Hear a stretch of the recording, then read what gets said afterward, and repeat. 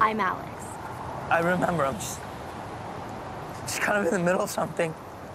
What, am I interrupting a dramatic leap off the bridge? Bad things happen because of me, and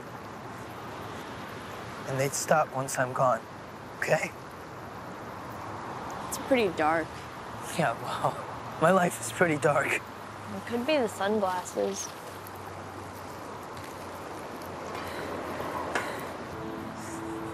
Doesn't seem like much of a drop. You should probably find a higher bridge. What? You want to die, right? Yeah. Well, then you should find a higher bridge. Wait. What? Wait. What? Are you Are you serious? Well, it's just physics. What did you want me to say? I don't. I don't know. Look, you're not gonna jump. You're gonna die an old man warm in your bed. Not here, not this night. You jump, I jump, remember? Did you just quote Titanic? Well, my ride's here.